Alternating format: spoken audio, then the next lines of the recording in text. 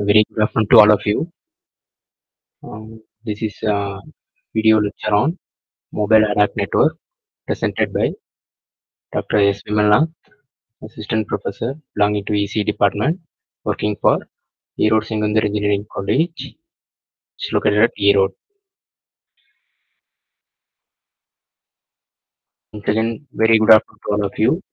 This is my outline of my lecture video and outline of uh, mobile ad hoc network is first of all introduction to mobile ad hoc network. And second one mac mac layer medium access control. And third one what are the routing protocols available in a mobile ad hoc network? And is classified into three different type of routing protocol. First one is reactive protocols and second one is proactive protocols. And third one hybrid protocols. And the last one transport is used in a mobile ad hoc network this is the outline of my lecture video Mm, before entering into the topic, we should know about some basics of network, wireless network. What is meant by wireless network? What is the need of wireless network? It is access, computing and communication services on the movement of the nodes. That is the wireless network.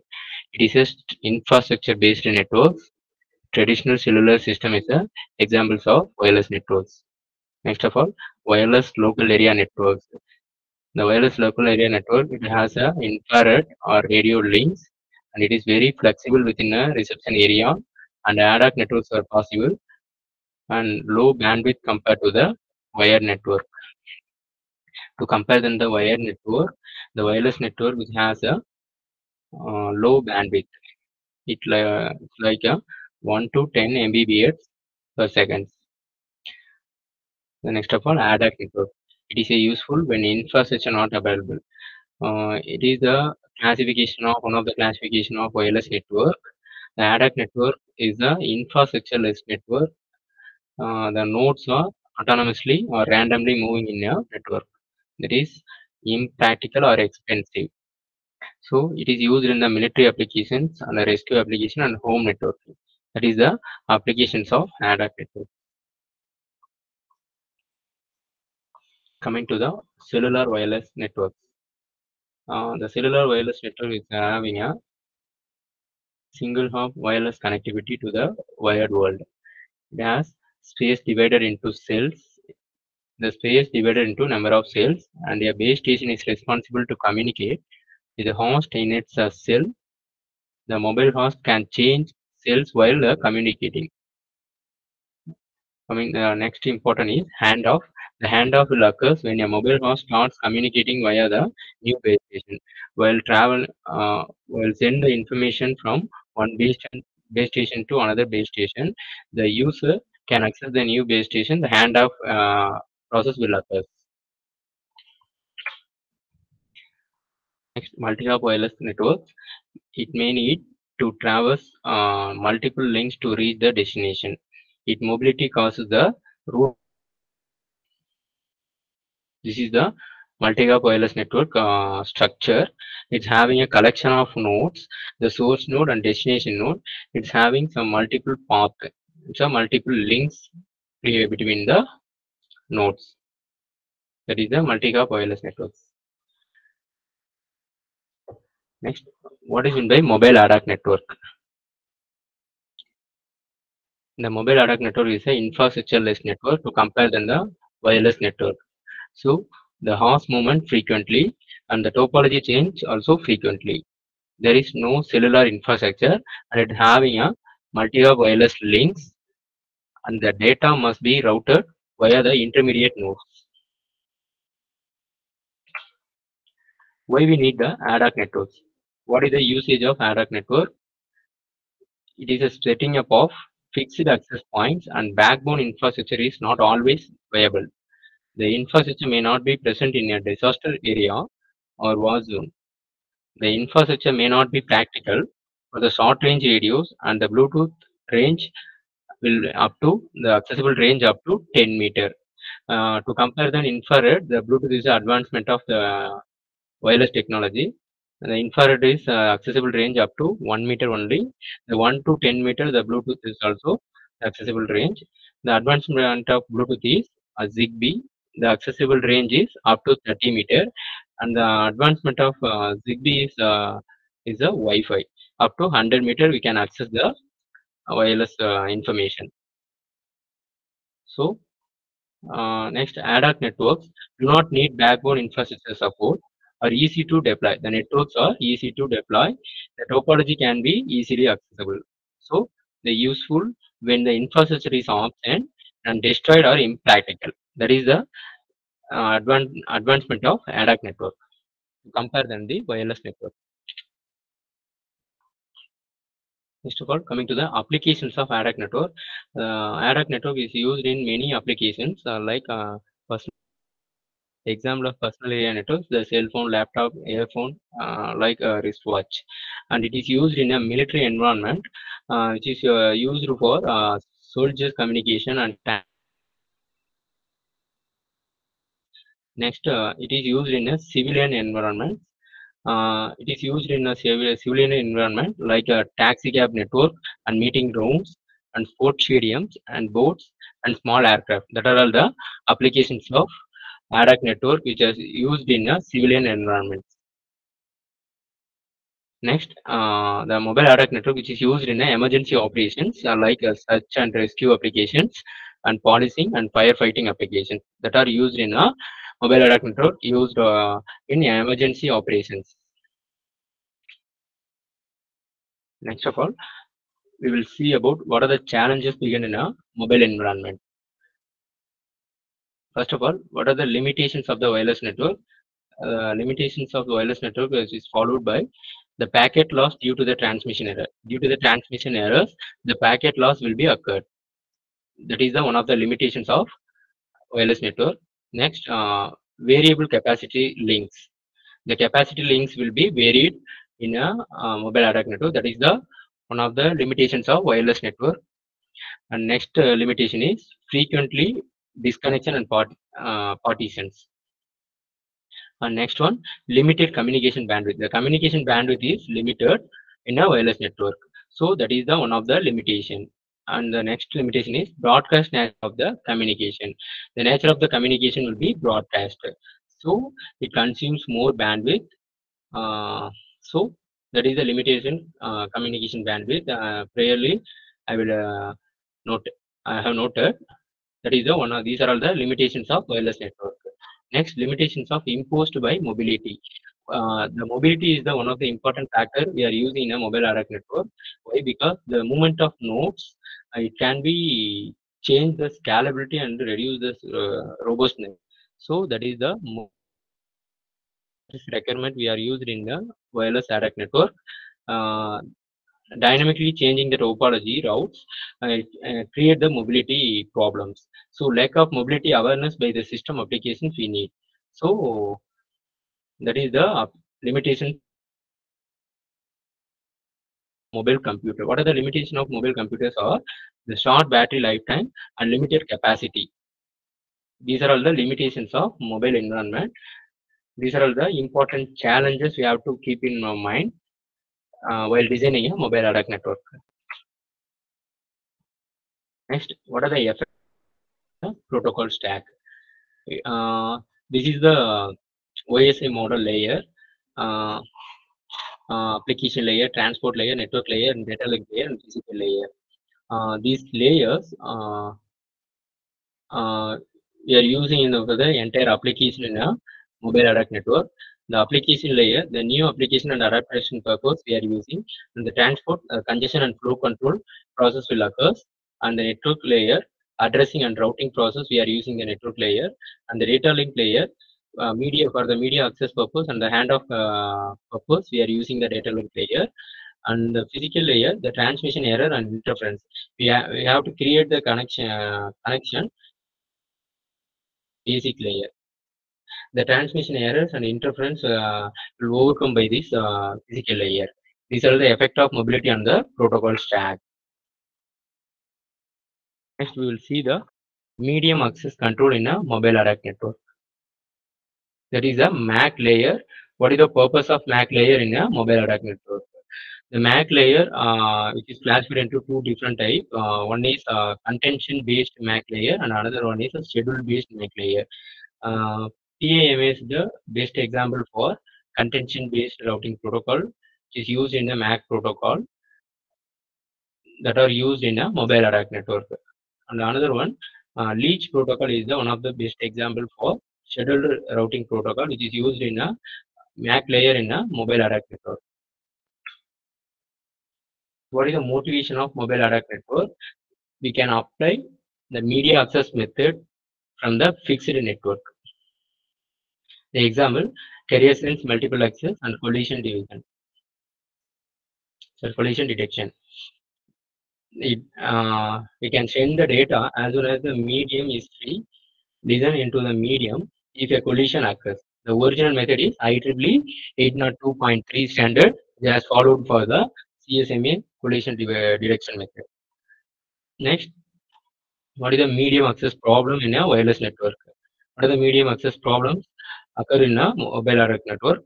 The signal strength decreases proportional to the square of the distance, and sender would apply the uh, carrier sense and uh, collision detection, but the collision happen at the receiver. The sender may not hear the collision, and the collision detection does not work, and the collision sense, the carrier sense might not work. For the example, if a terminal is hidden, the terminal uh, hidden means uh, it will create the carrier sense and the collision detection problem in the ad hoc network. Means, uh, this is very very important. What is the hidden and exposed terminal problems? The hidden terminal problem. This is the uh, structure of a hidden terminal problem and the exposed terminal problem. Uh, we have uh, three uh, nodes: A node, B node, and C node. Uh, the node A can send the information to the B. The C cannot receive a A's information. The C wants to send to B. The C sends us a free medium. The carrier sense, uh, if the carrier sense is fails. The collision at B, A cannot receive. If collision occur in a node B, the node A cannot receive the collisions.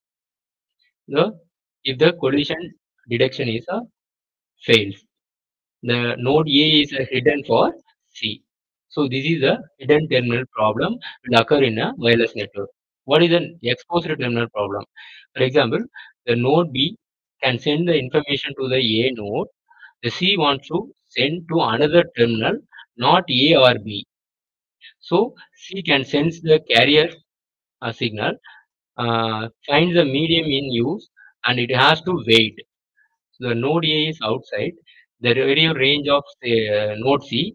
Therefore, waiting is not necessary in the entire network. So the node C is exposed to B. This is the export terminal problem. These are the two important problems will occur in a wireless networks.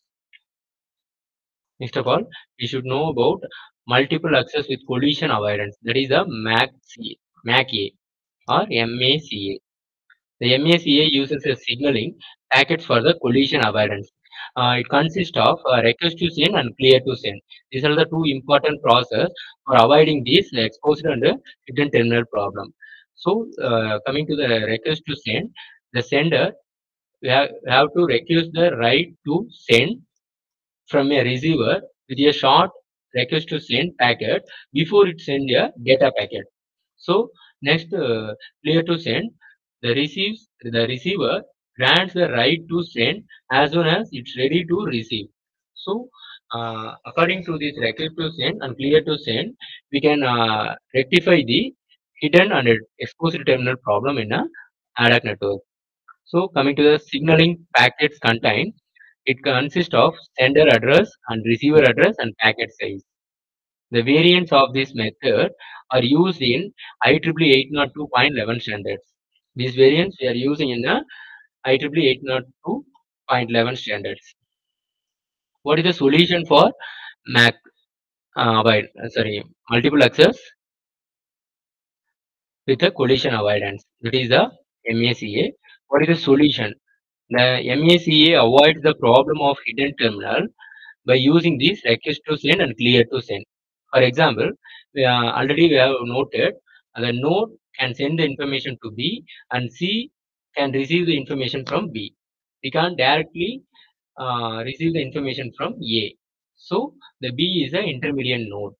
So the A and C want to send the information to the node B. A, the node A sends the request to send first, and C waits after receiving the clear to send from a B. So it will be uh, overcome the problems of occurring the uh, exposed and hidden terminal problem in a network.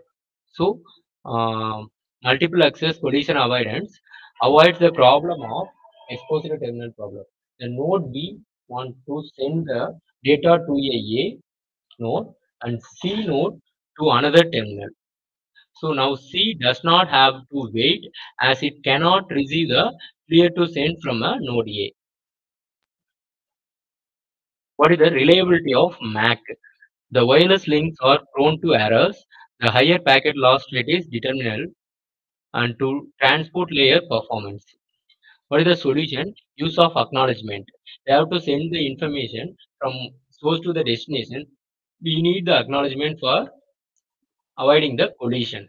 So when node B receives a packet from a node A and node B send an acknowledgement and if node A fail to receive an acknowledgement, it will retransmit the packet.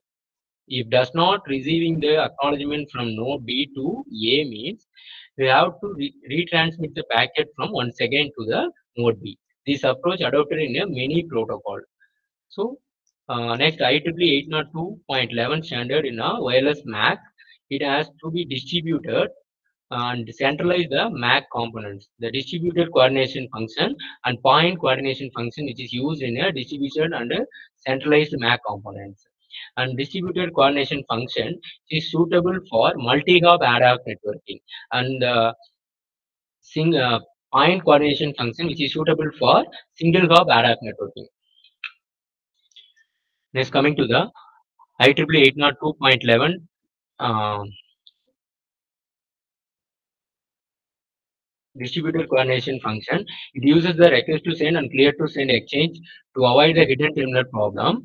And any node overhearing a clear to send cannot transmit for the duration of the transfer.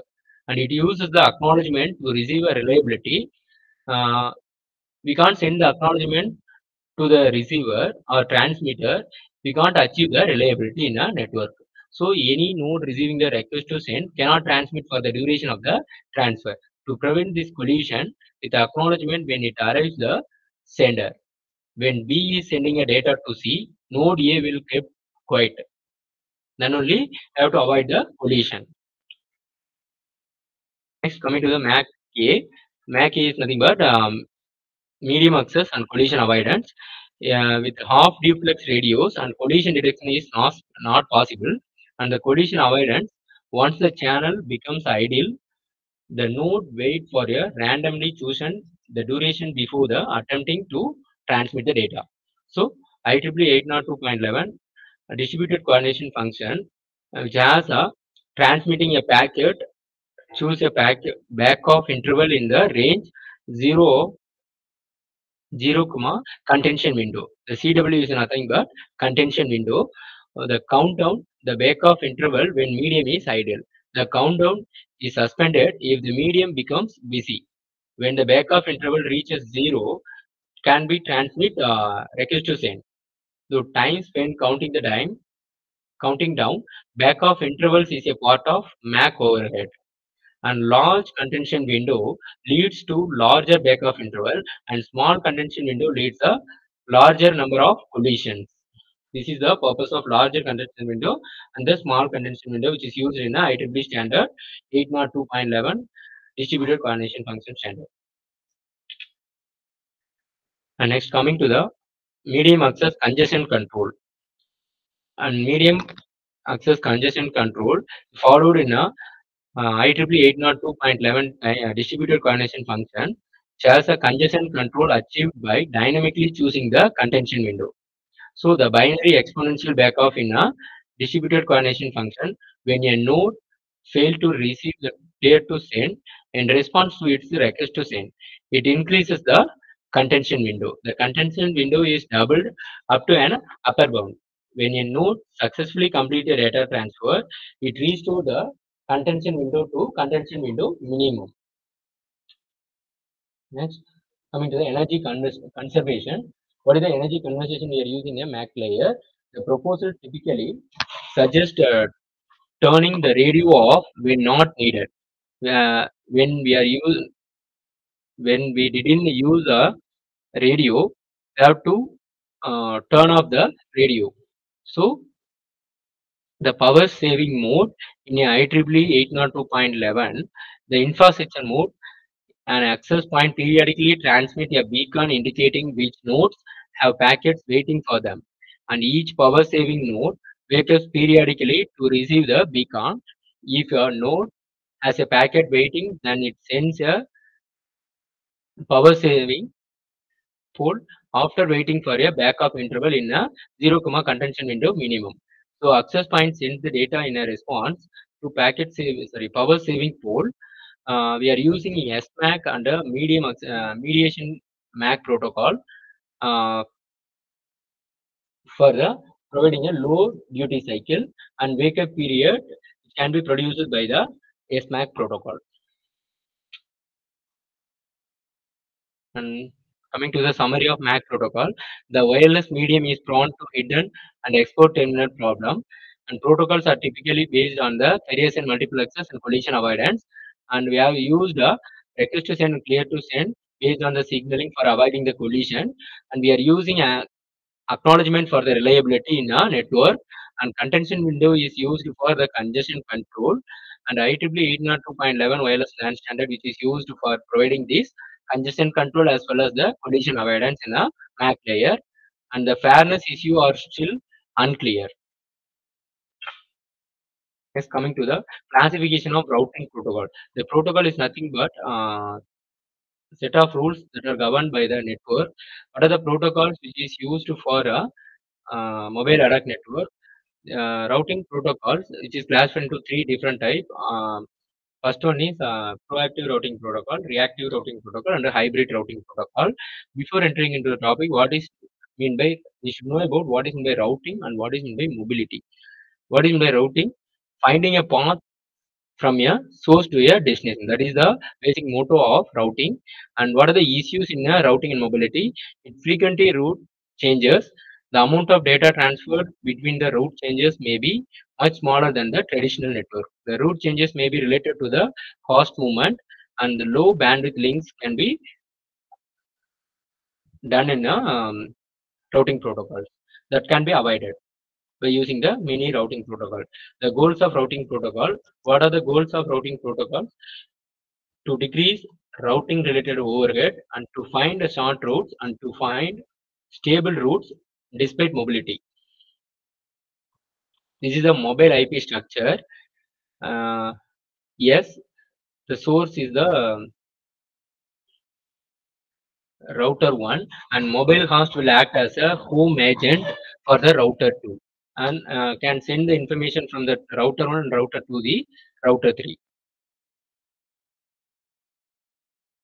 So the source is the router 1 and the mobile host can be moved to the router 2 from the router sorry uh, to the router 3 from the router 2 that is act as a foreign agent. The foreign agent is act as a router 3 and home agent is act as a router. And the router 1 is the source node. The packets are tunneled using the ip in a internet protocol. What is in a what is mean by routing in a mobile network the unicast routing protocol. Many protocols have been proposed in a unicast routing protocol, some specifically invented for MANET, others adapted from uh, protocols for wired network. No single protocol works well in all environment. The some attempts made to develop adaptive hybrid routing protocol. What are the standardization effort in a IETF? Uh, the mobile hoc network, mobile IP working groups, which added in a IETF standard the routing protocols available in a mobile hoc network. Already I have explained what are the classification of routing protocol. First one proactive protocols and second one reactive protocols and third one hybrid routing protocols. Coming to the proactive protocol, it is a traditional distributed shortest path protocols to maintain the routes between the every host pair at all times. And based on the periodic updates, the high routing overhead will be occur What are the example of uh, proactive routing protocol? The destination sequence distance vector is the best suitable example for proactive routing protocol. Coming to the reactive protocol, to determine the route if and when needed. Whenever we need the uh, route information, we can use the route reactive protocol. The reactive protocol is otherwise called as interzonal network protocol. But the proactive routing protocol is a intrazonal routing protocol. And source can be initiate route discovery. And the example of reactive protocol is the dynamic source routing and ad hoc on-demand routing protocol. The proactive routing protocol is the table-driven uh, approach protocol, and the reactive protocol is the on-demand based routing protocol. And the hybrid protocol is the combination of proactive and reactive. It can be adaptive combination of proactive and reactive. The example is zone routing protocol. It's the best example for hybrid routing protocol. Coming to the protocol traits of what is the traits of a protocol? Uh, the proactive protocol, it always maintains the routes and little or no delay for route determination and consume bandwidth to keep route up to date and to maintain routes which may never be used. These are all the traits of the, the proactive protocol. Coming to the traits of, of reactive protocol, it has a lower overhead since routes are determined on demand and significant delay in a route determination and employ the flooding and control traffic may be bursty. These are all the traits of, of reactive protocol. Which approach achieves a better trade-off depends on the traffic and mobility patterns. Coming to the reactive protocol. Uh, dynamic source routing protocol is the reactive routing protocol when node S wants to send a packet to node D but does not know a route to D. The node S initiate a route discovery. The route discovery is the important factor we are using in a dynamic source routing. The source node S floods the route request. Route request we have to send and route reply from the destination node. The each node appends own identifier when forwarding the route request. Uh, for example, we can send the packet from source node to destination node. We should know and appends own identifier. It's having uh, own identifier when forwarding the route request. We have to send the route request to the destination node. This is the example of uh, route discovery in a uh, dynamic source routing. The S node is the source node and we have to send the information to the D node and we have to find the shortest path by using the routing protocol. Uh, the, the this blue color is indicating the represent uh, a node that has received a route request for D from a S. This is a broadcast transmission route discovery in a dynamic source routing protocol. The S node is the source node. It can uh, the dotted line represent the transmission of route request. The X comma Y represent the appended to route request. And the next part, the node H receives a packet uh, route request from a two neighbor node. The two neighbor nodes are C node and B node. That uh, dotted line is indicating the uh, S comma C and S comma B. That is, these two are the neighbor nodes of H. The H receives a packet route records for from two neighbor node. It is the potential for the collision. Next, the node C receives a route request from G and H node but does not forward it again because the node C has already forwarded the route request once. Once the route request sent from the one node, we can't able to forward again. The node J and K both broadcast route request to node D. Since node J and K are hidden and forward to other, their transmission may collide.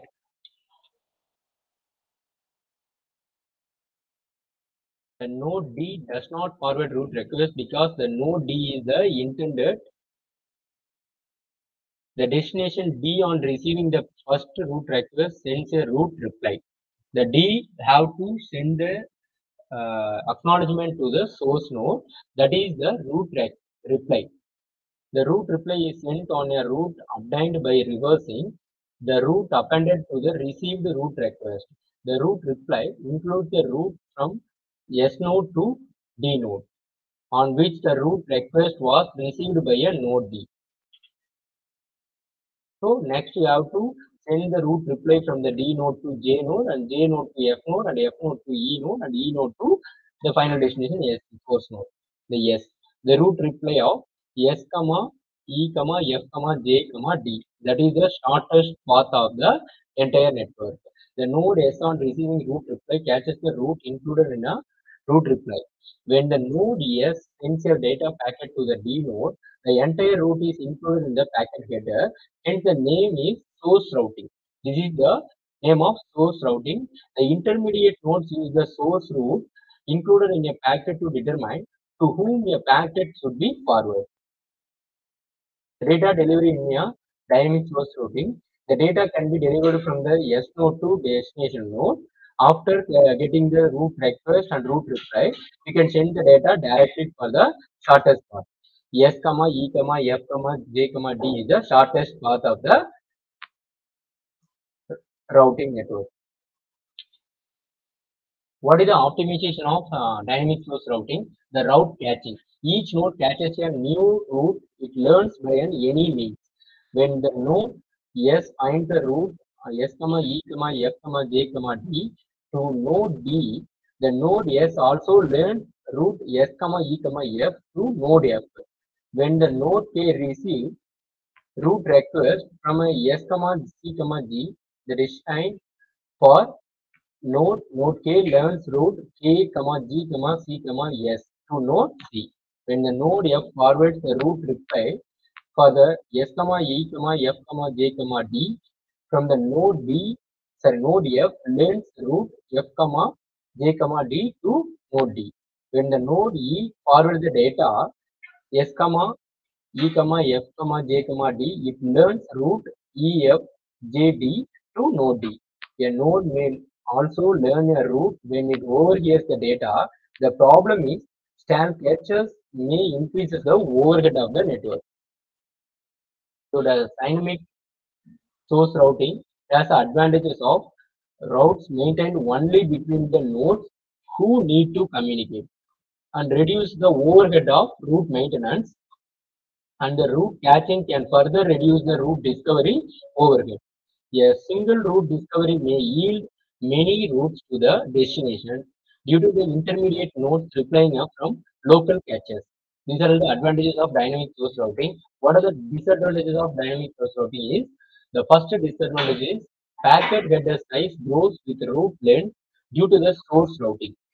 And the flood of route requests may potentially reach all the nodes in the network. The potential collision between the route requests propagated by the neighboring node.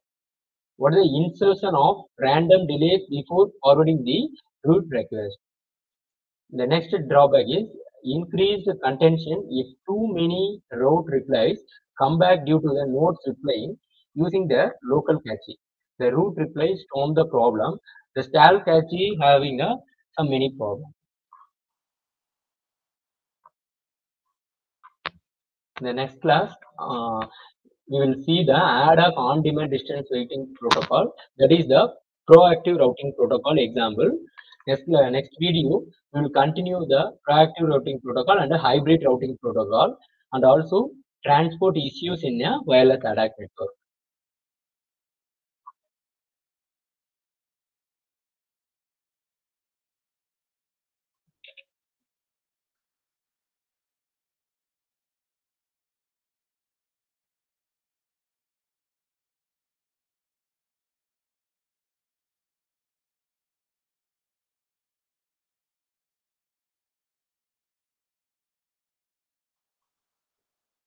Okay, students, I hope you all are understanding about what is the basic of mobile ad hoc network and what is the basic of wireless network.